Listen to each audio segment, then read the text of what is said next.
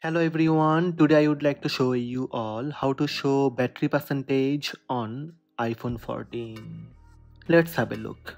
This is iPhone 14 and it's iOS 16. To show battery percentage on iPhone 14, first open settings app, scroll down the page and tap battery. On the top of the screen you will see battery percentage. Tap the toggle next to battery percentage. When your battery percentage enabled, you will now see your iPhone battery percentage at the top right of your iPhone screen.